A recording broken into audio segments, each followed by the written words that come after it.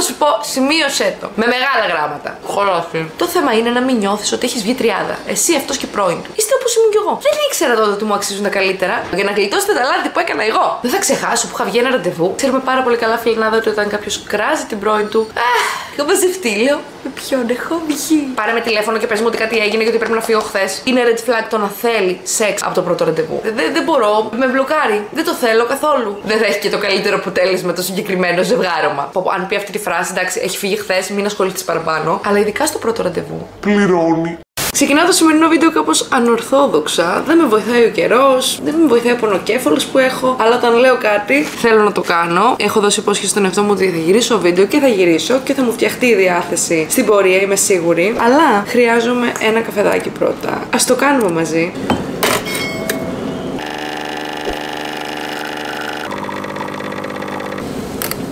Εδώ είσαι. Δεν φαίνεται λαχταριστό. Όμως, φιλενάδα, χρειάζομαι και κάτι γλυκό. Αλήθεια, νιώθω ότι το έχω ανάγκη. Κάτι συμβαίνει στο κεφάλι μου. Δεν είμαι πάρα πολύ καλά σήμερα και θέλω να σου δείξω τι ανακάλυψα και μπορείς να το ανακαλύψεις κι εσύ στο site της Jim Beam. Το πιο γρήγορο σουφλέ σοκολάτας που θα μπορούσες να κάνεις με ελάχιστες θερμίδες μέσα σε 90 δευτερόλεπτα. Καλά άκουσες. Έχεις σουφλέ σοκολάτας μέσα σε 90 δευτερόλεπτα και θα σου το δείξω αμέσως τώρα. Το μόνο που χρειάζεσαι είναι μία κούπα δύο μεζούρες από το Protein Mug Cake Mix και περίπου 50 ml γάλα. Είναι ελάχιστο γάλα.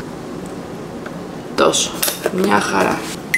Τα ανακατεύεις. Γίνεται κάπως έτσι το μείγμα. Μπορείς να βάλεις όποιο γάλα θες της επιλογής σου. Και πάρα πολύ απλά παίρνεις την κούπα σου και την βάζεις μέσα στο μικροκυμάτο στο πιο δυνατό για 1,5 λεπτό. Μέχρι να περάσει τα 1,5 λεπτό, να σου θυμίσω πως με κωδικό Mariposa 5 μπορείς να δοκιμάσεις πέρα από πρωτενε, πέρα από βιταμίνες, πέρα από όλα τα συμπληρώματα διατροφής και το συγκεκριμένο. Είναι πάρα πολύ ψηλό στην πρωτενη, έχει όλο και όλο 200 θερμίδες και είναι για όταν θες αυτό το γλυκάκι που θες να γίνει γρήγορα και να φας το σουφλεδάκι σου, ρε παιδί μου, σοκολάτας. Αλλά χωρίς τύψεις. Είναι μισό κιλό, έχει μέσα να κάνεις πάρα πολλά. Ακόμα και για μάζοξη φίλων, για πάρτι, μέσα σε διάφορες κούπες. Και να έχει ο καθένας το δικό του. Έτοιμο! Έλα το σουφλέ σοκολάτας. Μπορεί τώρα να φαίνεται σαν κρατήρα ηφαιστείου, αλλά δεν καταλαβαίνετε για τη γεύση μιλάμε. Άκρος φθινοπορεινή ημέρα λοιπόν. Ό,τι πρέπει για καφεδάκι και ό,τι πρέπει για το απόλυτο γλυκό. Παιδιά, είναι σαν ανεπίτηδε ο τρόπος που έχει κρεμάσει η σοκολάτα. Δεν καταλαβαίνετε γιατί σουφλεδάρα μιλάμε. Θα σου έχω και link στην περιγραφή για να το βρεις γρήγορα και να το πάρεις με έκπτωση κωδικό Μαριπόσα 5. Χωράφι. Γιατί είμαστε όμως σήμερα εδώ φιλενάδα; Έχουμε red flags στα πρώτα ραντεβού. Είμαι εδώ για ένα ακόμα girl talk ως συνήθως. Για να σου δώσω τις καλύτερες συμβουλές, συμβουλές ζωής θα έλεγε κανείς. Για να σου γλιτώσω χρόνο και να σε γλιτώσω και από τις κακοτοπιές. Πριν από τον εγκέφαλο, δόξα τω Θεώ, είχα βγει πάρα πολλά πρώτα ραντεβού. Κάποια συνεχίστηκαν στη δεύτερα και τρίτα, κάποια σταμάτησαν στο πρώτο, κάποια γίνανε και τύπου σχέσεις. Από όλα έχει οπαξέ. Το θέμα όμως είναι τι μου δίδαξαν αυτά τα πρώτα ραντεβού. Μου δίδαξαν λοιπόν όλα όσα δεν θέλω. Και είμαι εδώ για να σου πω όλα όσα θα πρέπει να προσέξεις κι εσύ και να μην τα κάνεις γαργάρα, μην τα βάλεις κάτω από το πατάκι, γιατί πολλές φορές οι άνθρωποι μας δείχνουν το ποιοι είναι. Το θέμα είναι πόσο εμείς είμαστε διατεθειμένες να το δούμε. Ξεκινάω τον δεκάλογο με το νούμερο 1 red flag. Όταν ακυρώνει τελευταία στιγμή και χωρίς σοβαρή δικαιολογία. Τι σημαίνει αυτό, φίλε Ελλάδα, ότι δεν σέβεται το χρόνο σου. Για μένα προσωπικά, το να είναι κάποιος συνεπής είναι στις βασικές μου αξίες. Όταν λέμε ότι θα κάνουμε κάτι, θέλω να το κάνουμε. Όπως εγώ, όταν δίνω το λόγο μου, είμαι εκεί, φροντίζω να κάνω ό,τι έχω πει έτσι θέλω και ο άλλος να είναι απέναντί μου. Δεν σου λέω ότι είναι red flag το να ακυρώσει γιατί του έτυχε κάτι πάρα πολύ σοβαρό. Άνθρωποι είμαστε, εννοείται μπορεί να συμβούν πράγματα. Αλλά το να σου ακυρώσει. Γιατί ο σκύλος του έφαγε την ατζέντα. Ναι, ξέρω, ακραίο παράδειγμα, αλλά καταλαβαίνεις τι εννοώ. Ή να σου ακυρώσει γιατί θυμήθηκε ότι έχει κάτι άλλο να κάνει που δεν το έχει θυμηθεί πριν. Να το θυμώσουν, φίλε. Να, να προγραμματίζεις τα πράγματά σου. Τι είμαι εγώ, εγώ γιατί δηλαδή να έχω αφήσει κενό στο πρόγραμμά μου για να κάνουμε κάτι μαζί και μετά να μένω έτσι. Θα μπορούσα κι εγώ να είχα βάλει κάτι άλλο εκείνη την ώρα. Α έχω να σου πω κάτι. Πιστεύω ότι κάπως το αισθάνεσαι πολλές φορές όταν ο άλλος είναι οριακά να ακυρώσει να... ή θα ακυρώσει. Πάρα πολλές φορές και με φίλες και με φίλους που λέμε θα βγούμε, θα βγούμε, θα βγούμε, κανονίζουμε και τελευταία στιγμή το ακυρώνουν. Και λέω το ήξερα. Το αισθανόμουν. Δεύτερο red flag, για μένα έτσι προσωπικά. Όταν ο άλλος δεν δείχνει ενδιαφέρον για όλα όσα του λες. Είναι το πρώτο ραντεβού. Είναι μια πολύ καλή ευκαιρία να μάθουμε όσο περισσότερα πράγματα μπορούμε ο ένας για τον άλλον. Δεν γίνεται όμως να μιλάει ο άλλος και εσύ να είσαι αλλού, να σκέφτεσαι άλλα, να μην δίνεις σημασία. Το καταλαβαίνεις όταν ο άλλος δίνει σημασία. Σε κοιτάει στα μάτια. Πολύ σημαντικό. Επίσης, ένα ραντεβού πρέπει να έχει έτσι μια ισορροπημένη συζήτηση. Να λέω εγώ για μένα, να πεις εσύ για σένα. Να υπάρχει αυτό το αλυσβερίσι, ρε παιδί μου. Να, να λες κάτι, ο άλλο να πιάνεται από αυτό, να θυμάται κάτι άλλο και να ανοίγει την κουβέντα. Α μην σχολιάσω ότι, ότι από αυτή την πρώτη κουβέντα καταλαβαίνεις πάρα πολλά για τον άλλον. Πόσο εύκολα ανοίγει θέματα για συζήτηση. Πόσο επικοινωνιακός είναι, αν θα τα βρείτε γενικά στην επικοινωνία. Αλλά τέλος πάντων, πίσω στο red flag. Όταν λοιπόν ο άλλος μιλάς, αλλά ξέρω εγώ παίζει με το κινητό του ή είναι στον κόσμο, του σκέφτεται άλλα, δεν, δεν σου δίνει σημασία. Φίλε, είναι ένα ξεκάθαρο red flag. Δεν ξέρω δηλαδή. Γιατί να το δεχτείς και να ξαναβγείς μαζί του. Και το νούμερο 3 είναι ένα αντίστοιχο αλλά αντίθετο red flag όταν ο άλλος μιλάει μόνο για τον εαυτό του. Φίλε, δεν θα το ξεχάσω. Νομίζω το έχω πει και σε ένα άλλο girl talk που είχα βγει. Αυτό μου έχει μείνει το ραντεβού. Νομίζω δεν θα το ξεχάσω ποτέ. Στο λευκό τον πύργο με έναν που ήταν μεταξύ του να συνεχίσει μπάλα ή του να του μπανιάσει στα γυμναστήρια. Δεν ήξερε τι από τα δύο πρέπει να κάνει, την ακολουθήσει και μιλούσε μόνο για τον εαυτό του. Κοιτιότανε, κοιτούσε τα πόδια του, έλεγε πόσο δυνατά είναι. Είπε ότι με αυτά τα πόδια μπορεί να με πετάξει το θερμαϊκό πάρα πολύ μακριά, αν με κλωτσίσει. Δηλαδή ο τύπος μιλούσε μόνος του. Δεν τον ενδιέφερε καν να δει τι έχω εγώ να πω, τι μου αρέσει, τι δεν μου αρέσει. Όταν πρότεινα να πάμε σε μια καφετέρια, γυρίζει και μου λέει: Εγώ εκεί πάω μόνο με τους φίλους μου. Δεν πάω με γκόμενες, μου είχε πει. Λέω: Εντάξει, ρε φίλε, okay. Και κάτσαμε ντάλα Αύγουστο μήνα κάτω από το λευκό πύργο. Μέρα μεσημέρι. Δηλαδή, αν είναι δυνατόν. Τέλος πάντων, γι' αυτό σας λέω για να γλιτώσετε τα λάθη που έκανα εγώ. Γιατί σας αξίζουν τα καλύτερα. Αλλά είστε όπως ήμουν κι εγώ. Δεν ήξερα τότε ότι μου αξίζουν τα καλύτερα. Έλεγα: Μου δίνει σημασία ένας τέλεια. Αυτός θα είναι. Τι ωραία. Όχι, φίλε, μου αξίζουν τα καλύτερα. Και θα πάω να τα βρω. Νούμερο 4. Όταν ο άλλος είναι αγενής στο προσωπικό, στους σερβιτόρους, στους μπάρμαν, στον οποιοδήποτε τέλος πάντων τον εξυπηρετεί ή σας εξυπηρετεί. Αυτό που θα σου πω, σημείωσέ το. Με μεγάλα γράμματα. Η συμπεριφορά κάποιου προς το προσωπικό, προς τους σερβιτόρους, είναι μία ξεκάθαρη ένδειξη του χαρακτήρα του. Δεν θα ξεχάσω που είχα βγει ένα ραντεβού. Ένα-ένα το θυμάμαι κι εγώ. Με έναν τύπο είχαμε κάτσει να φάμε. Τι ωραία. Τα πιάτα καταπληκτικά. Τον έβλεπα εντωμεταξύ την ώρα που έτρωγε, ήταν έτσι λίγο δίστροπο. Ήταν σε φάση κάτι του άρεσε. Του λέω όλα καλά. Ε, ναι, μου λέει όλα καλά, αλλά, αλλά θυμάμαι ότι όταν είχα ξαναέρθει εδώ η σως η συγκεκριμένη ήταν έτσι κάπως λευκή αλλά προς ροζ, ενώ τώρα είναι λευκή αλλά προς κίτρινη. Λέω, okay, μπορεί ξέρεις, να μπει και κάποιο μπαχαρικό παραπάνω, λιγότερο κτλ.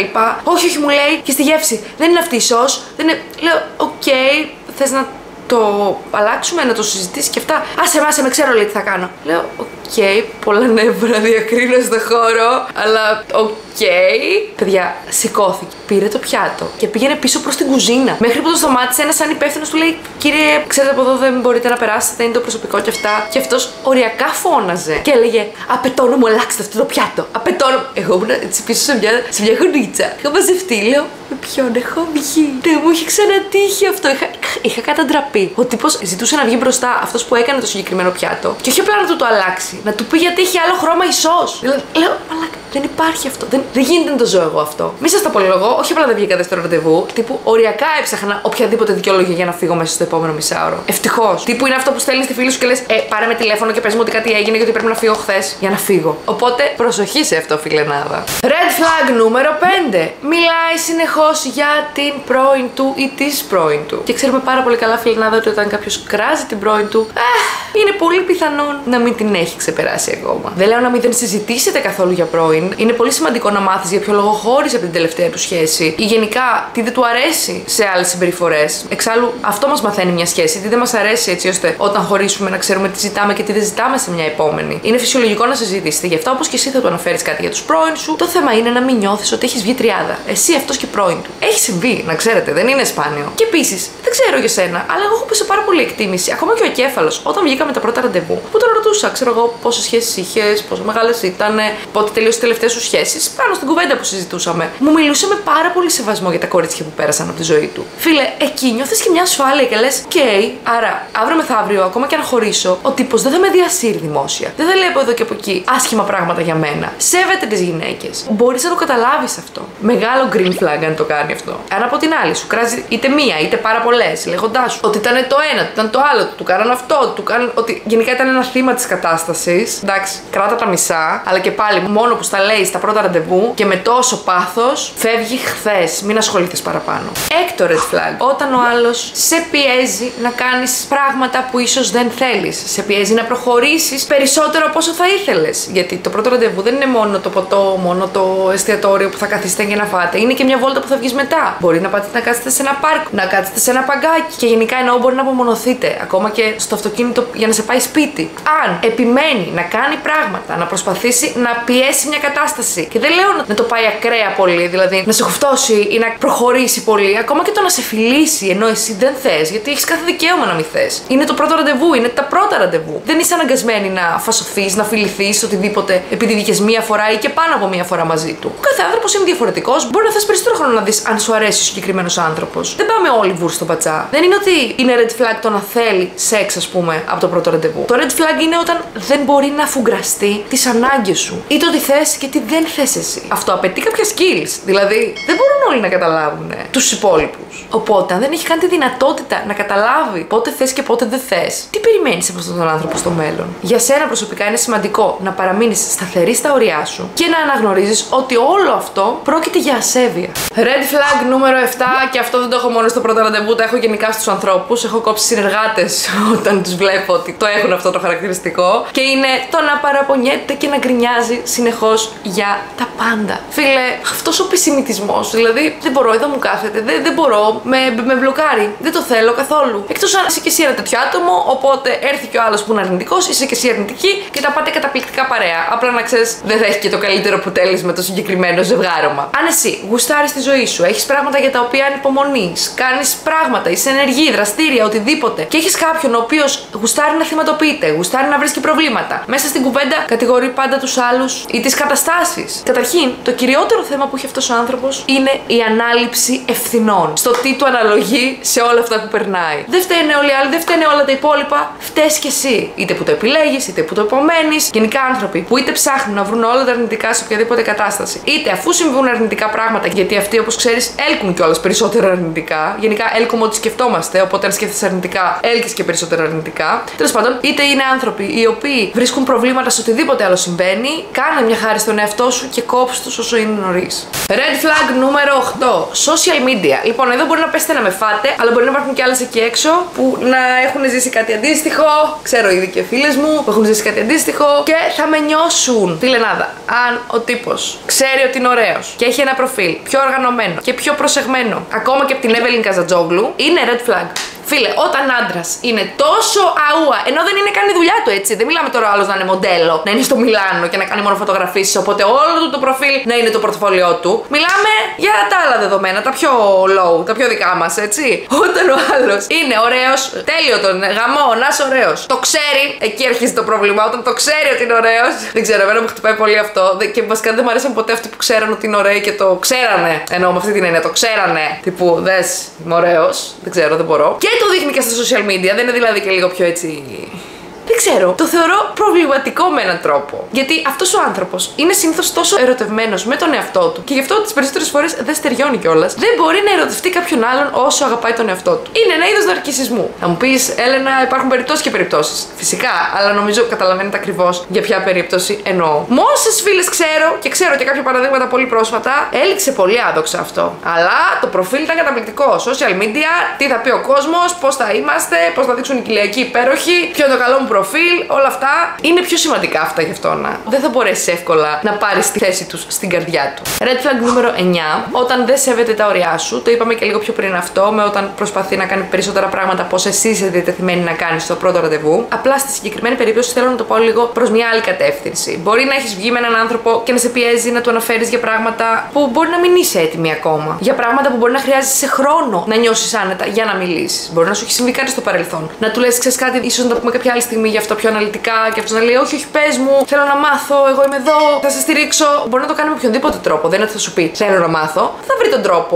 Έχουν τρόπους. Δεν ξέρω, εκεί είναι πάλι αυτό το ότι δεν μπορούν να καταλάβουν, δεν μπορούν να συνειδητοποιήσουν ότι περνάνε τα όρια. Ότι μπορεί για σένα να είναι κάτι σημαντικό, να έχεις τραυματιστεί από κάποιο γεγονός και να μην μπορείς να το συζητήσεις. Ή ακόμα να μην μπορείς να το συζητήσεις, να θέσει το χρόνος σου. Μακριά. Πραγματικά. Όσοι άνθρωποι γενικά στη ζωή σου δεν σέβονται τα όρια που θέτεις, μακριά. Και red flag νούμερο 10.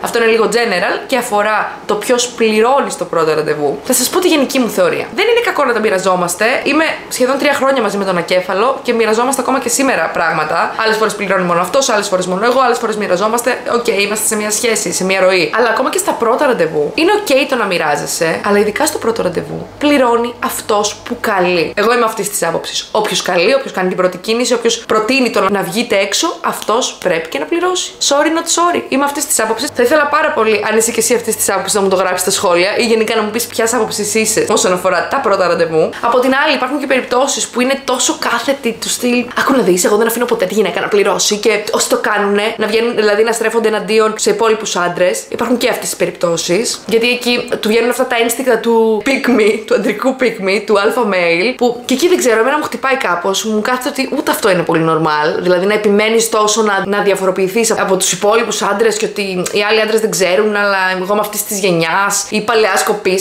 Αν πει αυτή τη φράση, εντάξει, έχει φύγει χθες, μην ασχοληθείς παραπάνω. Αλλά γι' αυτό θέλω να πω ότι το, το ζήτημα με την πληρωμή είναι πολλά διαφορετικά. Δηλαδή, κρατάμε το πρώτο. Όποιος καλεί, καλό θα ήταν να πληρώσει. Αν ο άλλος επιμένει ότι μόνο οι άντρες πρέπει να πληρώνουν, red flag. Αν ο άλλος πει να τα μοιραστείτε, είναι ok, αλλά ίσως στο πρώτο ραντεβού, αν σε κάλεσε αυτός, καλό θα ήταν να έχει φροντίσει να πληρώσει αυτός επειδή κάλεσε αυτός, όχι για άλλο λόγο. Μετά θα αρχίσετε να μοιράζεστε. Και άλλο ένα red flag, αν σου πει ότι ξέχασε το πορτοφόλι του και το συνειδητοποιήσει λίγο πριν πληρώσετε. Γι' αυτό σας λέω, το συγκεκριμένο είναι πολλά διαφορετικά red flag, όλα σε μία κατηγορία. Αυτά φιλενάδα. Εύχομαι να σε βοήθησε το συγκεκριμένο βίντεο. Κάνε και ένα follow στα social τα media. Μπες και στο group chat στο κανάλι μου, το Girl Talk, όπου ανεβάζω κάθε μέρα motivational υλικό για πάρτι σου και μόνο. Κάνε και ένα subscribe εδώ, έλα να ανέβουμε λίγο. Βλέπεις πόσο αργά και σταθερά πάμε. Σαπόρτα ρε τη φιλενάδα σου. Σ' αγαπώ πολύ. Να σε αγαπήσεις κι εσύ. Φιλιά πολλά.